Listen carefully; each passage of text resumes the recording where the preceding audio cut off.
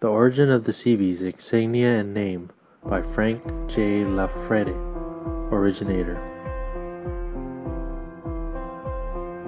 Early in January of 1942, while working as a plant file clerk at the Naval Air Station, Quonset Point, Rhode Island, civilian and naval engineers would come in and out of my office to study naval installation drawings.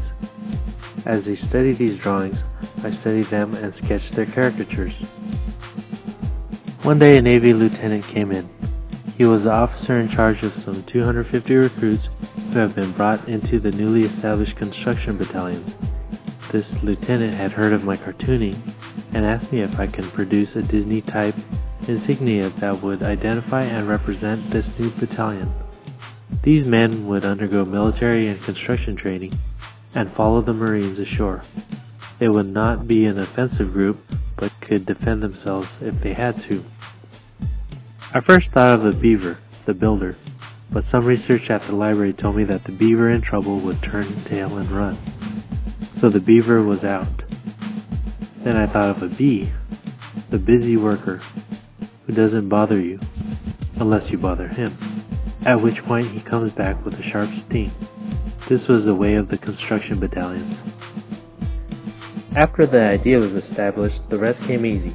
I animated the bee, gave him a hat to make him Navy tools to show his construction talents, and a Tommy gun to show his fighting ability. I made him third class petty officer with the appropriate insignia on each arm, such as the machinist mate, the carpenter's mate, and the gunner's mate. On each wrist the CEC insignia showed that he was part of the Navy Civil Engineering Corps. Finally, on the outer circle of the insignia, I put the letter Q for Quonset. Now, what would this group be called? In a construction battalions was a little awkward. I already had the B for these men who worked at sea. Putting the two ideas together, the name Seabees was born. The insignia drawing took about three hours on a Sunday afternoon.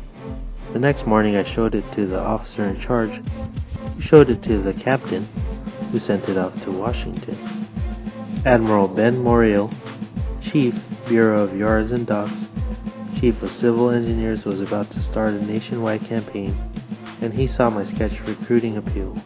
He requested only one revision in the insignia that the Q be changed to a hawser rope for national recognition.